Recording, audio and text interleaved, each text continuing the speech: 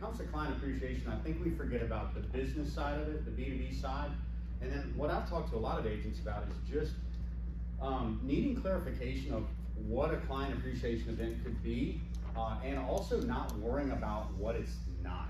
Like a client appreciation event does not have to be an event for 80 to 100 people, and if you don't have max attendance, it's not a success. Um, you can do something very easily for four or five people. I think who those four or five people is probably the more important thing. So we'll jump all over the place a little bit today. My hope is at the end, we can kind of culminate it into a couple of action steps that I'll leave y'all with. And I've got a, a, a resource item that Cindy was nice enough to bring uh, that'll hopefully help you on your way to take some physical action after we leave today. Just remember with Hometown U, and most of y'all are veterans, with Hometown U, if you take no action after this, in my opinion, you may as well not even come to the class. Please keep coming to the classes. But at the same time, right, like this is the easy stuff. You got here, and that's awesome. You planted the button to seat, that's awesome. You take some notes, and that's even more awesome.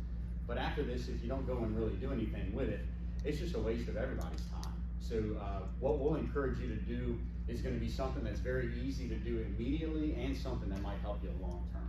Uh, we're going to call this social success season. Today we're going to cover first the benefits, the benefits to you, the benefits to your clients, the benefits overall uh, in a business to business environment. Um, we're going to talk next about the process, right? Like how how do I even go about planning an event once I have an idea of what I want to do? What do I do from there? How do I make sure people are going to show up? Like what gives me the best chance of having the best event? And then we're going to talk a little bit about results. Uh, in terms of results, what I did is I instead of just using maybe what TSG did or what I've done in the past, I went into Hometown and I got a bunch of ideas from a lot of different agents that some of y'all maybe haven't even met. And we've got some incredible ideas. One of the best things about being a member of a firm that's over 400 members strong is that there are good ideas floating around if you're floating around, right? So I hope to bring some of those to you today. And then, of course, all this stuff is worthless without a little bit of action. So benefits. Uh, first things first. Uh, what's a client appreciation event and, and why is it important? Uh, somebody take a stab at, at that for me. What's a, what's a client appreciation event first? Seems like it's pretty easy to answer, right? A way to say thank you to our clients. Maura, A plus. Thank you. Excellent student.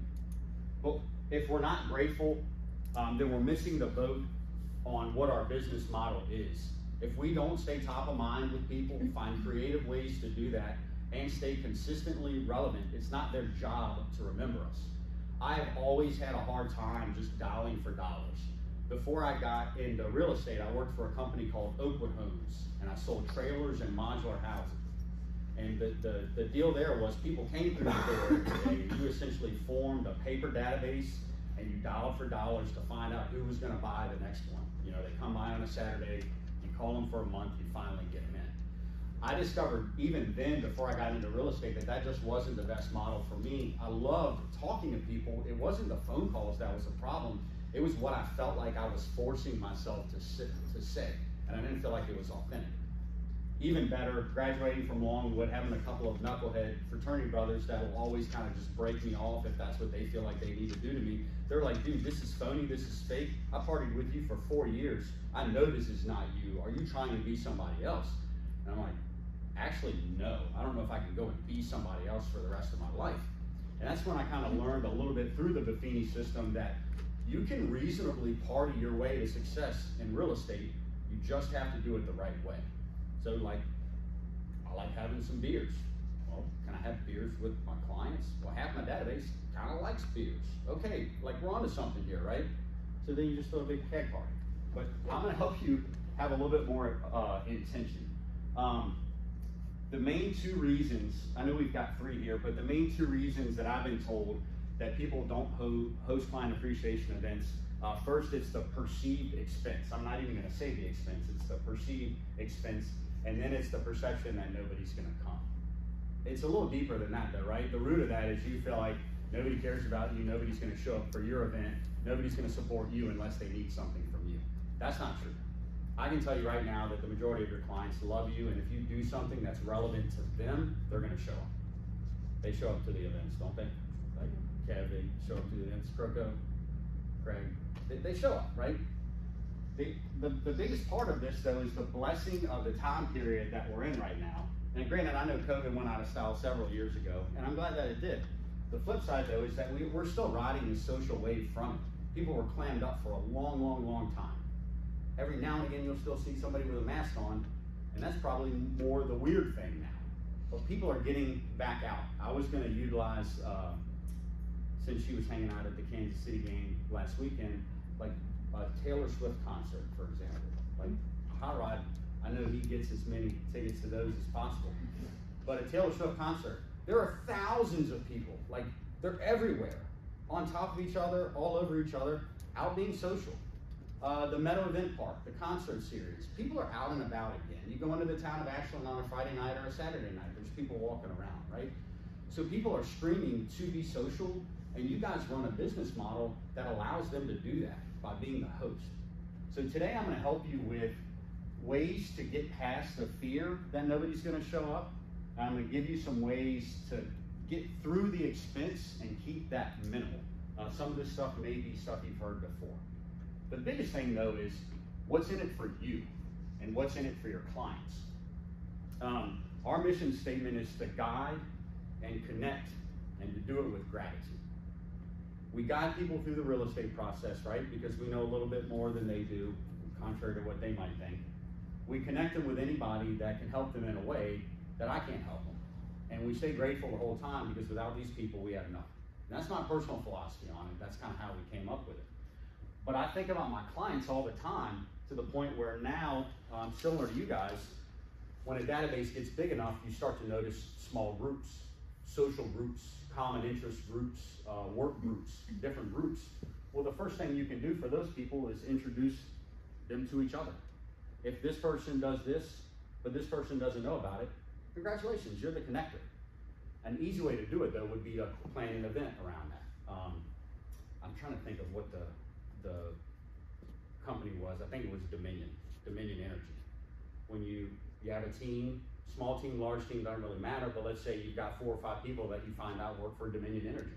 Why wouldn't you do a Dominion Energy happy hour, right? Doesn't need to be big, and it helps them meet others like them and others in the community. My favorite piece is that it accents who you are. If you ever wonder if people think you're all about the transactions or just trying to collect a commission check, don't talk about it. Go show them, right? Like, uh, create a lifestyle where real estate is ingrained in it, where people know what your identity is. Um, the best thing about a client appreciation event is that it does accent your identity. One of the best expressions of gratitude, uh, and then this one came to me as Lavender, Lavender and I were talking about it. When it comes to our clients, absence does not make the heart grow fonder. They will, they, they will not forget about you, but you will not stay top of mind if you don't work to stay relevant. And it's not their job to remember you. So uh, this is a way for you to make phone calls potentially every month with ease, uh, with strategy, and being comfortable about it. Think about it as when people pick up the phone, they're actually happy to hear from you because they wonder what you might be calling about versus you thinking uh, that they're going to expect you to be like, hey, you know anybody that needs to buy or sell a home? Mm-hmm. Get that next line now. So the, the process, right? The first thing you have to do is you have to decide if you want to go big versus small. Do I want to include my entire database or do I want to do a small group client appreciation event? Um, what we do, what I know a couple of teams do in forming those subgroups is we find a way to stay relevant on a monthly basis. My wife's an educator. She's been an educator in Hanover, I think, for like 17 years, and she's been at several different schools. Because of her being how she is, uh, I'm very lucky to have an impact at those schools because I, I think because they don't know me and they really like her, so I, I get to ride that way. You know what I mean? But now we're doing a drawing every month for educators, right? I call all the educators, let them know we're doing it. I ask them if they know about anybody that wants to be a part of it. I do the drawing, I video the drawing. It's a it's a production, right? But really, it's for them, and it's it's two twenty five dollar Amazon cards. It's not uh, anything crazy. But the first thing you've got to do is you've got to decide, okay, what do I feel like I can conquer? Do I feel like a big event is going to overwhelm me and make me stressed out? If the, the vibes are bad on that, bury that right right from the jump and try to figure out, okay, well, what about a small batch? What about a small group that I can pick six to eight people and do something with them? I'm gonna skip this real quick. But Once you get past here, you're going down here and you're picking a theme and a location. Cindy's gonna talk to you at the end about Oaklawn. Most of you know about Oaklawn, but when it comes to hometown, I think we forget that Oaklawn is something that uh, very few, if any, other firms can offer you. A, a beautiful venue that everybody in Hanover knows about, that's at your disposal if, if it's not already rented out. Cindy will tell you more about that, right? So pick, pick first, big or small, and then pick a theme. What are you gonna do? I've told this story to some of you before, but I feel like uh, stories sell uh, kind of like, um, and they let you know that, that you're not alone. Somebody has been there before. I did my, my very first one right after I took, um, I think it was 100 Days to Greatness in those days. And it was, it was required by Buffini that you did a business mixer or a client appreciation event. And I just tried to follow that system to a T. I did mine at Capitol Ale House and I did it in the game room. They're, they don't charge you anything for that. Um, they told me as long as I could keep other people out, it would be like my private room. And so I planned the event, I made the calls. I think I had like 24 RSVPs. I felt pretty good about it. And then similar to class today, like 15, 20 minutes before the event, it's a very sparse room. I'm starting to get a little bit nervous. I'm kind of thinking everybody told me yes, but when it came time to pony up, they kind of floundered out. Get to about five minutes before the event, and not much has changed. I think I had like two homeboys there, and yeah, they're business people, but they're really just homeboys that came for a couple beers and uh, to support me for the day. And so I went into the, the bathroom to kind of like, kind of get my mind right, uh, chill out for a minute, and, and like all bullshit aside, I had myself a good cry in the bathroom because I got I got like three hundred dollars into this event. I've been spending a week trying to get a hold of people, and there's nobody in there but the same two homeboys that I'm probably gonna hang out with this weekend. I went out and Rodney was standing at uh, what do you call it, the hostess podium or whatever, whatever it is, and it was something to the effect of like, "Hey man, what are you doing?" And I'm like, "Well, I, I just had myself a good cry in the bathroom. I thought I was planning a good event, but Rodney, I'll be honest with you, this is crap." He's like, "Well, I'm not sure what you're talking about. You need to go in there and take care of your people." And I go in there and there's like 15 people there, right? So it, it um, don't speculate, investigate. Don't get too wrapped up in the process. Stick to the process, and, I'm going to give you that here in a few minutes. But but take it from me. If you have a good process, you make the contacts, and you have a good relationship with these people, they're going to be there. So the best advice I can give you on that is please stop worrying after that. You're you're not um. Who was the lady like? Call me now for your free reading. Y'all, like, y'all are not Miss Cleo, right? Y'all are y'all are not Miss Cleo. So don't predict the future or don't even try. I don't even actually think she was that good at that. Flipping it around a little bit, right? Like so that's more um, that's more of me uh, reaching out to people I know in the beginning. Uh, some people were clients, some people were business owners. About a year after that, though, I realized that I had I had two different opportunities that could be vehicles moving at the same time. I could do a client appreciation event one month. I could do a business mixer the next month. And the only thing I'm going to tell you about your business mixer is I know most of you have business affiliates right now, and it's time to utilize those resources. They may not send you referrals, and this is just my personal opinion. It's okay if y'all disagree. I do not believe that a business affiliate's um, benefit to us is doing a good job. Like, if they hire us, if they refer business to us, the minimum standard is doing a good job, right? So when it comes to your affiliates, it's again my opinion that they need to be doing something extra. They need to be sending you business or they need to be supporting your business. And so the first thing is leaning on them for sponsorships. Has anybody in here ever reached out to a business affiliate that they've worked with regularly and asked for money? Uh, just, yeah, show of hands is cool. So, like, of those hands, when you made those calls, was it a, like a problem? Okay, I'm gonna lean on you, Big Z, because I, I don't, you're like doing the, Yeah. the gangster lean. Well, some it just depends how much money you're asking, right? Sometimes you're like you're asking for like 500, 750 bucks, but they only, you know, some of them are only willing to do 250. Sure. But some pie's better than no pie. Absolutely. Yeah, and at, at the end of the day, a business that'll fork over a hundred bucks, two fifty or something towards the event, high five, you know what I mean? I've, I've never called anybody and, and, uh, I, I know, my wife tells me all the time, I'm not special, right? Like, so I know that picking up the phone and asking for it is a hard concept. That's the hardest thing about it. And you have like six or eight people after the class that you can lean on and be like, hey, when you did it, how did it go? Blah, blah, blah, or whatever you need to do to make yourself feel better about it. But if you're spending your own money on your events, think of it as wasting business funds. What could you do with that five hundred to a thousand dollars? Where you've been supporting this guy all year or for two years or three years and really, um, not only could he help you with the financial side of it, but he can actually have a presence, he or she could have a presence there uh, and be, be part of your event. When you plan a business mixer, the only thing I was gonna talk to you specifically about there is the format that we devised. So, uh, if you run a, a two twelve group, a BNI group or something, this is actually really easy because you have a, a pond to fish in already.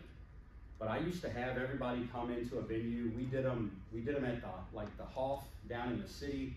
Uh, we did them at a gym one time. I encourage you to work within your your B two B database to try to find the venue at one of their businesses. I would create an uh, not an itinerary, but kind of like a a loose way for them to understand that there was going to be some structure and it just wasn't a big happy hour. And then literally, I would make everybody line up around the room like old sixth grade dance or something, and we would do intro out. Everybody for just one minute would be like, I'm Larry, I work for Hometown Realty, I run a small team there, appreciate y'all coming out today, keep me in mind for your buyer seller referrals, whatever. And everybody goes around the room. What I found after that though is by just doing that critical piece, after that, this guy now goes over to this lady and they start talking. They didn't even know who each other was, right? So now we're playing connector. Now I also though, I have a sheet to give them with everybody's contact info so that afterwards they can follow up. And please believe I'm using that same sheet to follow up to see if they've made contacts, to see what kind of success stories we, we had that day, take pictures at the event. Uh, I included two drinks. Typically at these mixers, man, like if if it's uh, open bar, things can get out of hand. So you, you know you got to be careful there. Um, but at the end of the day, we had events where we would have, I would say, maybe 30 to 40 business professionals, and the backlash of that was so positive in terms of incoming phone calls. How many of those types of events have you been to? Who's been to a business mixer like that before? I was, I, I did, I, I like to shout for it. So, so do something a little different, but don't neglect your B2B environment.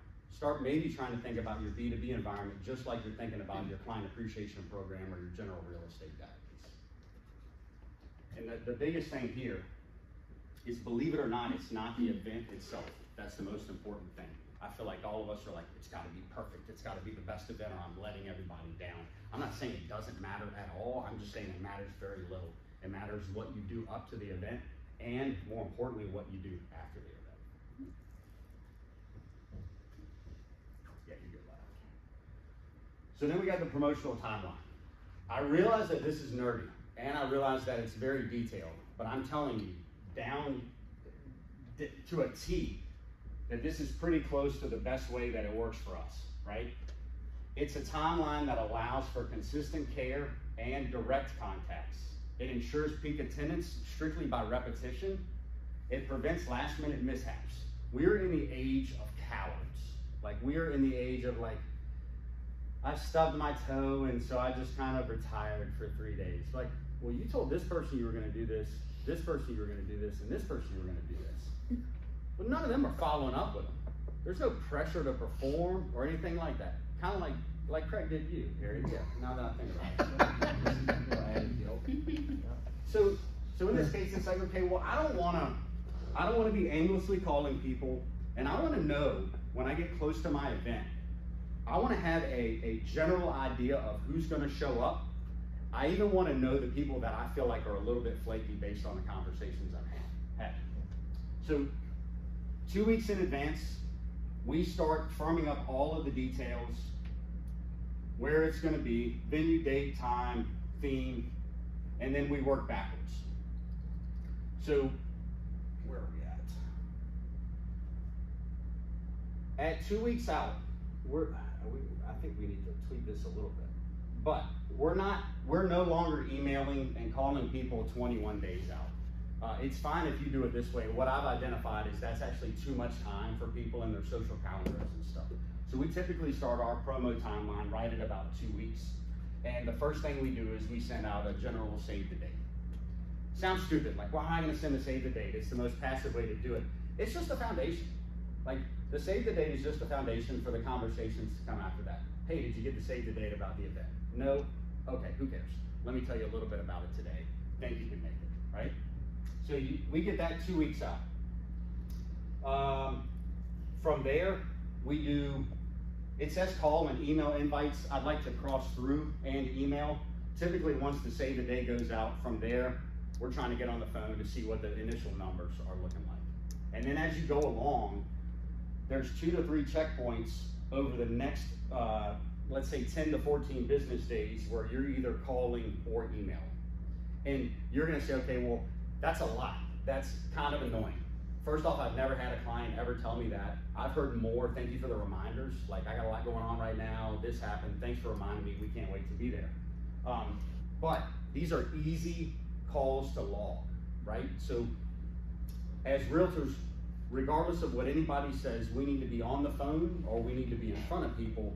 And there's not an easier way to do it than this. So, you send a, a reminder make the call, send a reminder email three to four days after that. You're making calls to follow those up. And then literally the day or two days before your event, you're making a final round of calls before any serious funds are being spent. So the number that you have captured is, is decently accurate.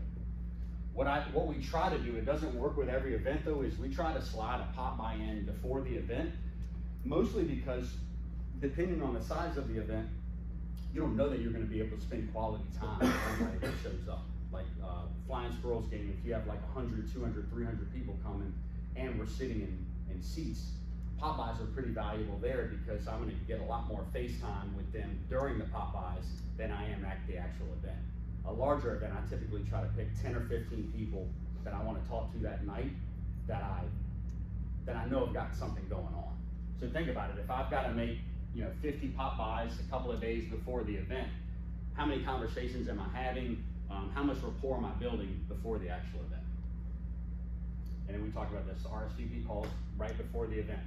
At the party, make sure you connect with anybody you invited. Take pictures. Take a lot of pictures. But now get permission that it's okay to put these pictures out where you're going to put them. I, I don't come from a family that really has a problem with any of that stuff, but to each their own, and I know you gotta kind of respect that stuff too. So just make sure, like, especially if you're putting pictures of people's kids and stuff up out there, that uh, you actually have the blessing. Um, make sure that they're taken care of and happy. I think people forget that, like, this is not your party; it's their party. If you need to be a server, serve. If you need to go get beers, go get beers. Right?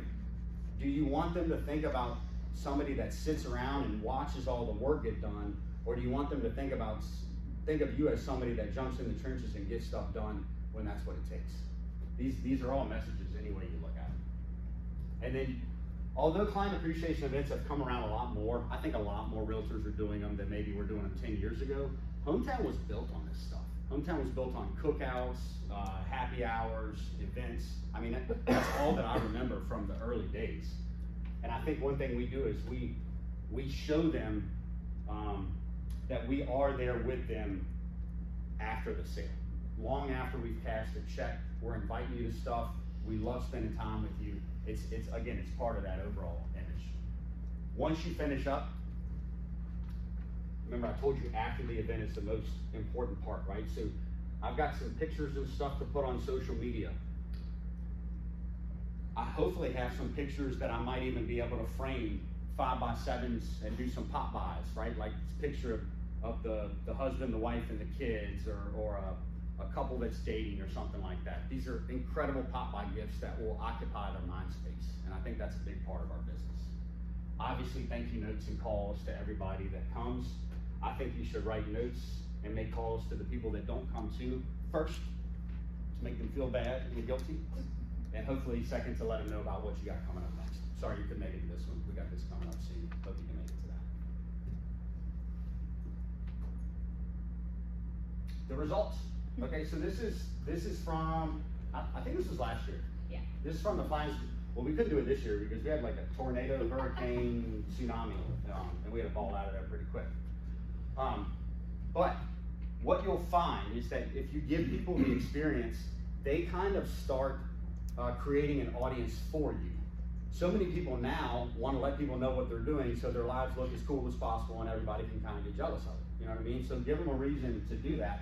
But don't hesitate to take some pictures and put it on, on your social media outlets.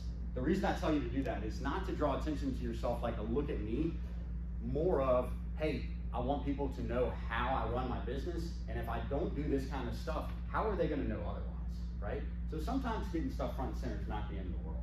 Uh, I think what we got at the bottom, well, obviously, I, I wouldn't thank myself, uh, that would be kind of tacky, but, um, you, you have people that are gonna put testimonials. These are things that you can take throughout the year, uh, depending on what the wording, you can incorporate those into your marketing and stuff like that. Part of our buyer seller packets covers client appreciation, so of course, we're gonna have some testimonials from clients in there. Mm-hmm. Ah, here we go. Mm-hmm. Here's the juicy stuff. Speaking of juicy, look at this guy. Actually, mm-hmm. I'm gonna get weird for a minute here. I want you guys to really, really see this guy. Who is that? Anybody? Hot rod. Let's go. yeah, it is. This is Big Z. This is Big Z. And I would love to say that I had that much courage. I'm like, I'm, I'm this guy right here. Super plain. Big Z, tell them a little bit about what you did. I, I asked you to do that because I think it's incredible, Right. and I know, I know for you, man, like, you have, you've leveled up, leveled up, leveled up, leveled up, not just in terms of business, but client appreciation events and kind of the identity. Just a little bit about that again. Well, first of all, um, I love parties, so it's just in one way, just to have fun while having fun. And then uh, I've noticed too that everyone loves tacos, so I added that in there. And so, so started off with just doing taco fiestas. So every May I do a taco fiesta, and every uh, October I do another one. And you had Rico's, Rico's, Rico's came yeah. out?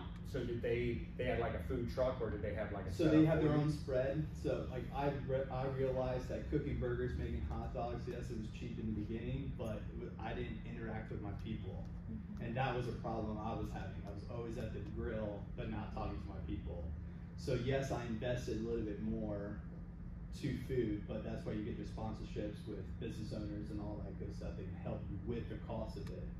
But even then, I was able to work the crowd and talk, take pictures, take selfies, all that good stuff. That, that's, um, I'm glad you brought that up.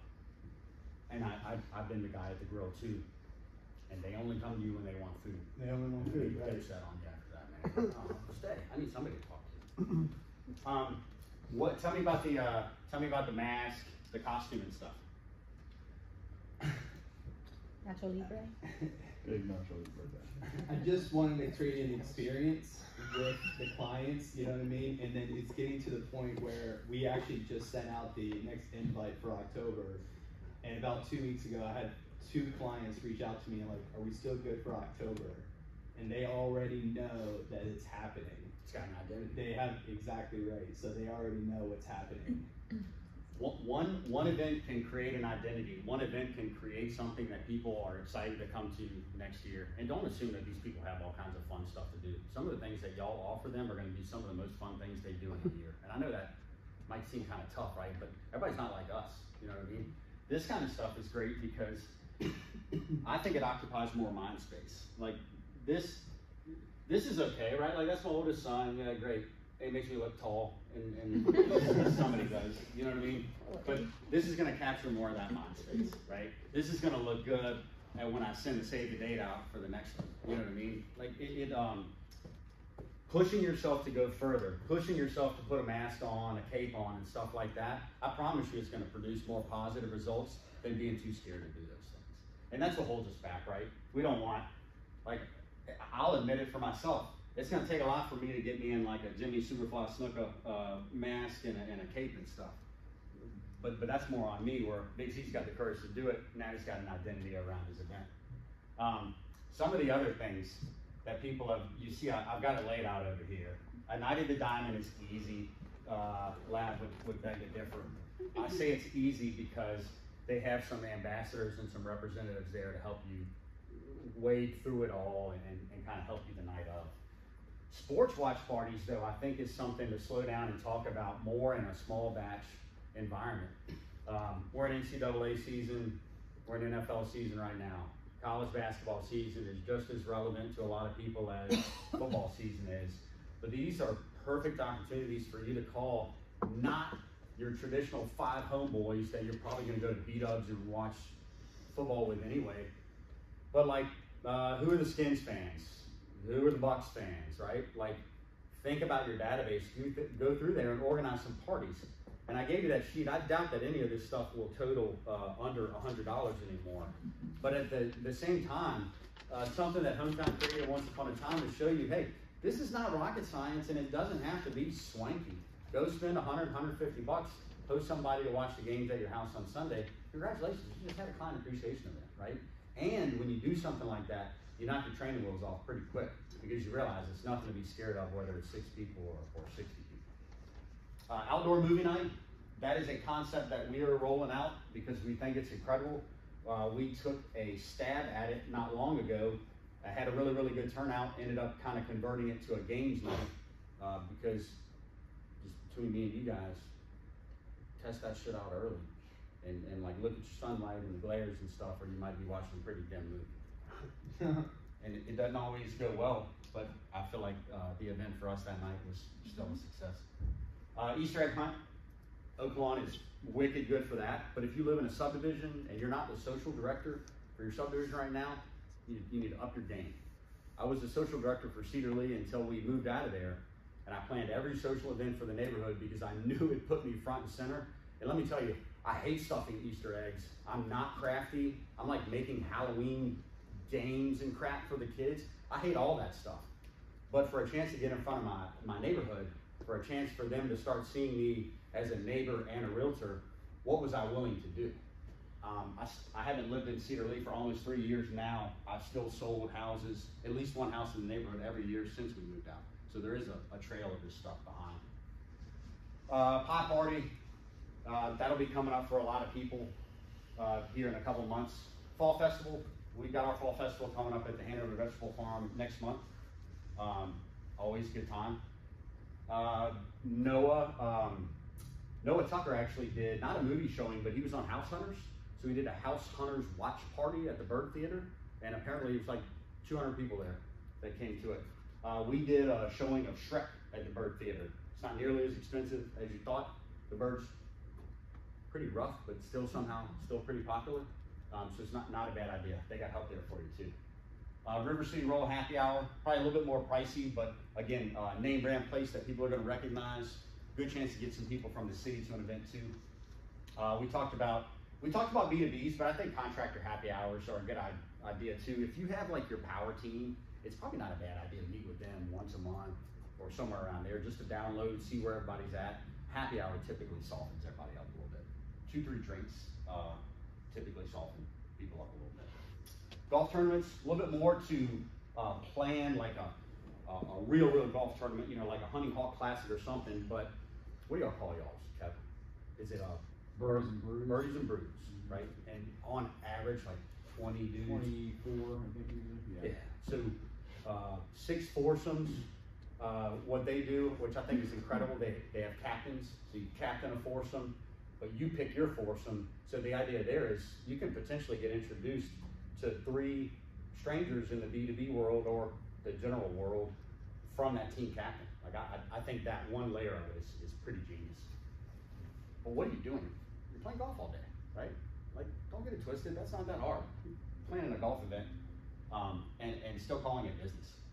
Hosting housewarming parties. This was like a big Buffini thing in the very beginning. It was like after you close a deal, like you need to be on them. I couldn't get people to plan housewarming parties to save my life. Has, has anybody had success getting people to plan housewarming parties? I used to tell them, I'll bring the keg or the food. If you tell me either of those things, you're welcome at my house. Like all of y'all. If you bring food or a keg, you can come to my house anytime. And people weren't with it though. Um, but if you do, um, go gangster with it.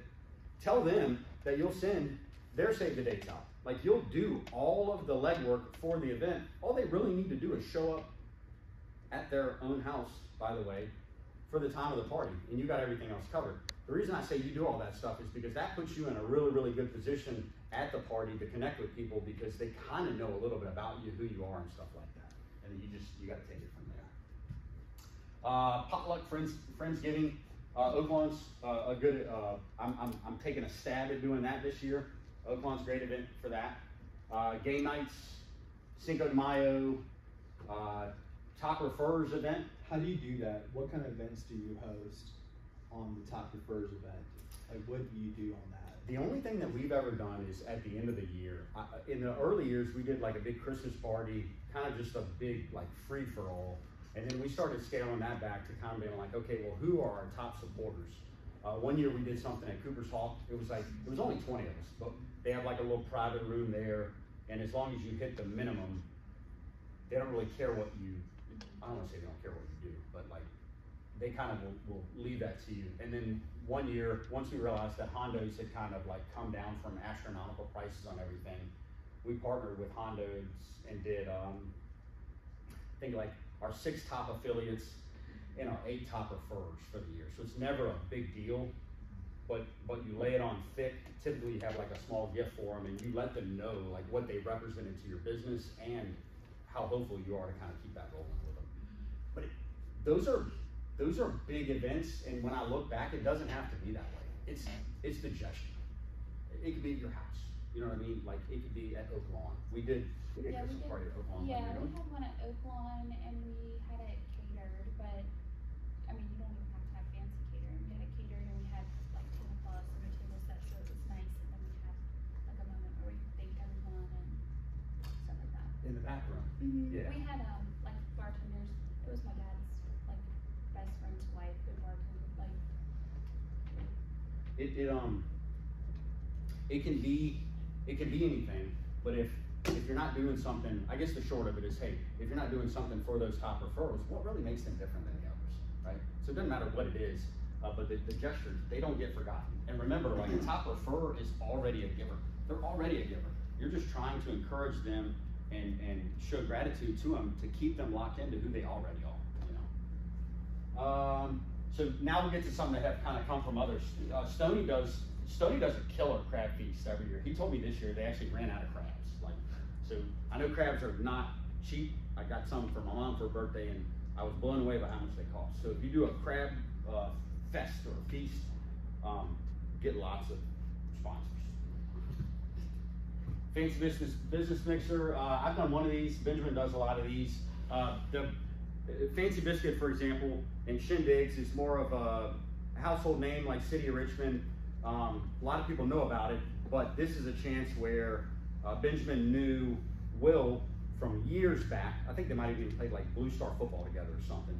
Well, Will is one of the lead chefs and a partner with uh, Shindigs and the Fancy Biscuit, right? So we're taking care of, Ben's taking care of his client by providing a venue for local business owners to come to, kind of like the completion of the three-headed monster. Supporting Will, having these guys come out, and I mean, the Fancy Biscuits, they are really good. Ladies Wine Night, I got to be a part of that earlier this year. If, if you don't do, I don't know how to say this the right way. Like, so, like the ladies, y'all can fight me after the class if you want to. Um, if you're not doing something specifically for the ladies in your database, like you're, you're missing like such a wicked opportunity. Like, whether it's wine night or something different, plan something because I had never, my ears had never hurt so bad, but I had never been to an event where. What are you saying, Larry? I'm said saying wait they till were loud after. But they were loud because they were having fun. They were chopping it up. They were meeting people. They were talking. Kev was pouring full pours, making Nate Smith look bad all night. You know what I mean? What I'm saying though is they're gonna hang out anyway. Why, why wouldn't you give them something and be the source for it? And it doesn't matter if you're a dude. You can plan an event strictly for ladies. It's okay. But and, and maybe vice versa. Although I don't know what y'all are planning for dudes. It'll probably be like a big Beards and bros. gro- gross event. Um, oyster roast, similar to crab feast, right? Like, um, I got a buddy that owns Tri River Seafood in West Point. Um, so if, you know, you need something like that, um, you can go locally, you can get everything that you need. Again, oysters, uh, crabs and stuff, that's probably gonna be a little bit on the higher end. That's probably something you wanna do once you, you really got things rolling. Happy hours local brewery, that's, that is so easy. Um, some town first agents used to do happy hours right across the street at Sedona. And I remember we probably have like 15, 20, 25 hometown agents at every one of them, right? Just plan a happy hour, see who will come to it. Wine tasting party, there's a lot of ladies that'll come to your house or your um, place of business now and do those. Another easy thing, that's a lot less expensive than you think it would be. Most of the time, they're willing to do it provided they know that some of the people that are coming will actually purchase some wine. So if you get some winos out, I mean, you know they're gonna buy some wine. And you can kind of uh, potentially do that at low to no cost. Uh, chili cook-off, got that on there because that, that's coming up soon, right? Football season, chili season, and all that stuff. I have found that like people think chili cook-offs are cool. I I don't really do chili. Like I don't I don't I eat it. I don't make it though. So I'm not like personally down with the chili cook-off. But in a neighborhood, it's a really really good type of event to have. Taco Fiesta, we already talked about that. What are driveway drinks, Big Z? Uh, it's when you, uh, invite your neighborhood to come out to your driveway and start drinking. I thought that might sneaky suspicion that's what it was. Alright. So even client appreciation can be inviting people to your driveway and drinking. Alright, let's go. I thought this was genius. This came from Pam, What? came from Pam Lawrence. I, yeah. I love Pam because like she has made a name for herself on Lake Anna and she has such cool ways that she does it. Like I don't, I, my vehicle's not even that cool. Pam takes like clients out in a boat to look at waterfront properties and stuff like that. But what she does is she embeds herself in the community. So Lake she's like- Caroline? Hmm? Lake Caroline? Is she in Lake Carolina? Oh, yeah. I thought she was Lake Caroline. Lake Anna. Lake An- They're Lake the same thing, right? Same thing. Thank you, Dave. Alright. Well, I- I'm, I'm so, I'm so down here. I don't know about that. The gist of it though is that Pam has created a, a weekly lifestyle that puts her in different positions in the community and she never goes empty handed. And so everyone knows she sells real estate and she sells plenty of it, but she's never knocking anybody over the head. And I think that's impressive. So she, she goes into firehouses, whether it's like breakfast or lunch. She knows what's going on with local nonprofits, right? Like, so she doesn't aimlessly support them. She actually like knows what's going on and finds support for them in addition to getting her support. Uh, I'm a huge fan of being in the schools because they give you every opportunity to jump in there and make a name for yourself. She's the same way. But I thought it was cool that she has the maintenance crews and the HOA office clerks. So if I got a problem with an HOA doc or a packet or something like that, I'm not calling like, what's this guy's name? You know, like Joe S. I'm calling Tina, who I kicked it with last week, because I stopped by to bring her some bagels or something like that. You know, I think uh, what Pam helped me understand is that like when you make this kind of stuff a lifestyle, it actually takes care of a lot of the problems that you feel like you have as a realtor. Man, I don't have the energy to pick up the phone today. Okay, then don't. Go pick up Panera. Go to the local firehouse. Ideally, you would want to know somebody there, right? Like, don't just show up. But like, go out there and be a, a, person of the people, right? On that particular day, maybe dialing for dollars is not what you have to do, but you got to do something because you do nothing long enough. That's what you're going to end up with. And I have no idea what house party on Lake Anna means, but I'm pretty sure that was Pam's too, and I'm pretty sure it had something to do with partying on the lake. It was like fire pit, roasting marshmallows, like that kind of thing. I, I imagine like she's probably got a pretty pretty sweet property too. But if I wanna if I wanna catch certain fish, I've got to go where the fish are. And I can't complain about not catching tuna when I'm fishing over here for spot and croaker, right? Like you, you have to adjust the bait, the line needs to go in the water in a completely different place. You might not even be in the right pond, you know what I mean? But you need to find one that you can be in that's gonna give you the results you're looking for. These are things that have kind of come along. They're extra expense items, but they're a chance to partner with somebody, and these are easy things for someone else to pay for. Keep that in mind first. Someone else should be paying for these. bounce houses, I don't know, go buy a solo stove, or I'll loan you mine. Fire pit, uh, DJ Brian, if you, if you need them. Food and food trucks, this was such a blessing. When food trucks came along, changed the game. Like no more, no more standing in front of the grill, Big Z. We're calling in a food truck. Um, drinks, I think what, I think what I heard y'all did at the baseball game is like the first hundred or hundred and fifty beers are free courtesy of Rock Creek Innovations or something like that. So yeah, we got 100, 150 free beers. I did not tell you I was buying your alcohol after that. I told you get there and drink while you can, and you know it's it's sponsored by somebody else in the community. Yard games. Um, what did we have out there for movie night? Um, Connect Four. Connect Four is the jam. Kids love it. What else do we have? The like life-size board games, the axe throwing. They had like um, it's like life size chick, uh, life size tic tac toe or something like that. Uh, lawn games equal entertainment for the kids. Entertainment for the kids equals conversations with the adults, right? If if I'm at an event and I gotta chase, thank God I don't have to chase my kids around anymore. But I remember when they were at the age where all I could do is kind of like just follow them around and make sure they didn't do anything stupid. Like if they're entertained, the parents are social, they're looking for something to do. They're gonna be a lot more open-minded to you talking to them about whatever versus if their mind is seventy-five percent trying to keep an eye on their kid, twenty-five percent trying to listen to whatever you're saying, right? Hundred percent. Um, tents and a face painter. Dude, I got like, I got like four 10 by 10 tents. So if anybody ever wants one, like call me. You, you gotta come to my house, you gotta get out of my garage, but you're welcome to use it. And then a face painter. Again, remember child occupancy. I know that sounds, that sounds kind of like institutionalized, but you want to occupy the children, you want them to be happy so that the parents are happy and you actually get some time to chop it up. Is this helpful? I know it's, uh, some of it's a little dry. I'm trying to kind of not be dry, um, but it's it's uh, it's absolutely necessary to kind of go through some of this stuff. And really, the only thing from here, Cindy's going to tell you all about um, not just about the benefits of Oaklawn, but how to really operate the system the right way. Oaklawn is not something that is uh, should be thought of as vacant. It should be thought of as booked. And if you think of it as booked, that's going to make you plan and get on the schedule sooner than later. If you do that, what will happen is you have less of a chance of letdown. You have less of a chance of Cindy being like, in her mind, she's like, well, you hit me on three weeks before you want to do an event. Of course it's booked. But really, it's like you have an opportunity to lay stuff out and be organized if you do it now. If you wait until some cool concepts come to you and then you try to throw it together, it's not going to be the same. Trust me, I, I have been that guy many, many times, and I'm telling you, with a plan, it's going to go a lot better.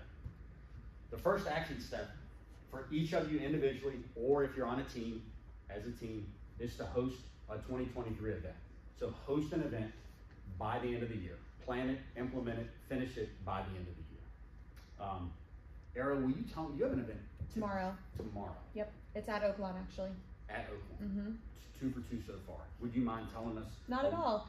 Um, my, how much, I'll, I'll be quick. My approach was slightly different than yours. I actually called people way in advance because in the past I've had people tell me, oh, kids events, you know, they, they take up all of our time. So I called every single person in my COI and I was like, hey, I know you've got kids. I want you to put it on your calendar now. Sent out the events a few weeks or the invites a few weeks later, followed up with another round of phone calls, and I have actually sent out two emails, and I will send out one tomorrow. See you tonight, because the last one I sent was on Monday, and it was like, here are some parking reminders, here's some inclement weather information. Um, I actually went to Five Below and I bought a ton of balls and a bat with a ball so that the kids could have stuff outside. There's cornhole boards at Oaklawn that I'm planning on setting out. Um, normally I do barbecue. This year is a little different for me just personally. So I cheese boards are a love language for me. So I am making an entire eight or a banquet table covered in a cheese board. So I want everybody and actually one of my clients is making cake and cupcakes. Um, the winery that I have for sale is uh, he, he. I did pay for it, but he gave me two cases of wine for 200 bucks. So that's 24 bottles of wine for 200 bucks. So that was a deal.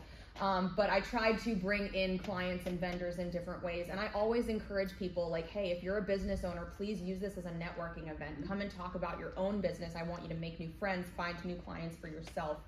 Um, I invited about 450 people, and I'm expecting about 100 to be there. Hopefully, that would be. And this is my third year doing it, and every year it gets a little bit bigger. I think last year I had about 60 people come through throughout the night.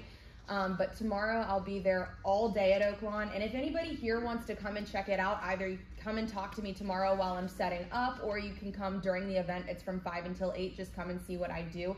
Um, I tried to do things really like on the cheap this year. Like I bought a bunch of balloons. Uh, We have a helium tank at Oaklawn, so I'm gonna set up like a photo station where families can come take photos with the backdrop of whatever. I'll figure that out tomorrow. Um, and then I've just got like centerpieces that I'm putting on tables. It's nothing huge, but it's really just like the atmosphere and the relationship building that I want people to enjoy. But I try and have something for everyone. Um, and hopefully, I just try and tell people it's a good time. This is my thank you for being a part of my business. And I always try and reinforce that not only in my follow up phone calls, but also my emails that I send as well. It, uh, one thing, so two things pop out. First is getting ahead of the promo timeline only helps you make more contacts. That's never a bad thing, right? Especially provided you're saying the right things. One thing I forgot today, and I, I, feel bad for forgetting this. This year, what we've done a lot is uh, uh, video texts. So we, we slid video text in as a layer, not a substitute for another item, but instead of sending a text, uh, it might be like text, call, video text. And that video text might be like my final touch point, kind of like seeing you Mhm. tonight. Uh, some of this stuff might not make sense to you, but like the human mind is pretty amazing. And if you get a video of me the day of the event, you can see my face, you can hear my tone, and essentially I'm like, see you tonight, you know what I mean? Like, the chances are of you floundering at that point, it's more reason than excuse. You might not come, but the chances are you're not going to come for some lame excuse. You're going to come because when I come to you and I was like, "Where were you?" You told me seven times you're going to be there. Like, this came up in my life. Like, During this meeting, I've had two people RSVP yes. To, and they should have done that weeks ago, but I mean, still, they're, they're still reaching out to me because I'm sending reliable correspondence, so it helps.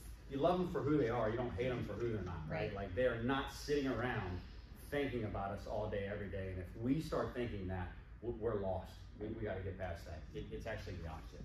All right, so host one 23 2023 event. Show of hands. Does everybody feel like they can do that by the end of the year? That was a solid show of hands. All right. All right, so take it a step further then and set your 2024 marketing calendar. And thanks to Cindy and Benjamin, uh, so I'm. I'm gonna help you do it. So no matter what you decide.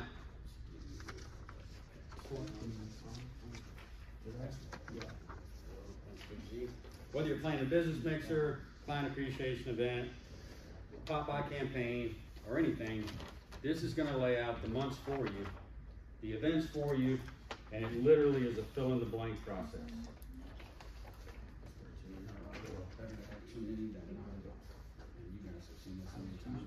Thank you. Thank you, sir. So why on God's green earth would we set a 2024 marketing calendar in September of 2023 or October of 2023? Why? Because You wanna get an Oaklawn, you better do it now. That's right. Definitely, definitely one reason. We got an email But being yesterday from proactive Lucy. Is. We got an email from our team lead Lucy yesterday. It said, tomorrow's event, tomorrow's meeting's gonna cause a lot of people to call for booking Oaklawn. Letting you know now, May second, twenty twenty-four is our team's event. So she booked it yesterday. Spoken like a veteran, baby. It's not Lucy's first rodeo by far. Um, I'm gonna say, th- th- those are true, hundred percent true. I'm gonna say that it's going to give you peace of mind about next year. And what I mean by that is, instead of being like everybody else, like, who am I gonna call this week, or what am I gonna say, or how am I gonna say this differently than I said it last time? Lay out a marketing calendar now that you love, probably will enjoy, but will make your lead generation and prospecting like a no-brainer. I'm, I'm working around all these events. I don't even know when I'm really gonna have time to do quote unquote dialing for dollars. Because I've given my business an identity, and that's kind of where I'm at every month. So take this with you and try to fill it out by the end of October. Have it filled out by the end of October if you can. Reserve your venues, make your deposits, do the stuff that you need to do. But what I hope this will do is I hope it'll start having you look at your business affiliates a little differently.